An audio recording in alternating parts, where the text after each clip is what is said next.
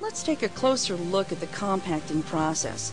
For the better you understand the mechanics of how PM parts are made, the better you will be able to take advantage of the benefits of this well-established manufacturing process.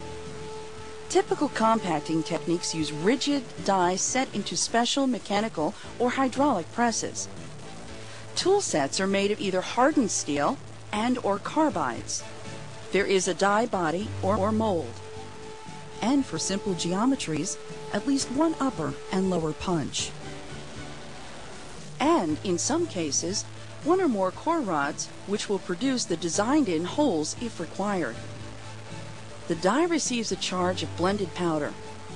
The fill ratio of loose powder is around 2.5 to 1.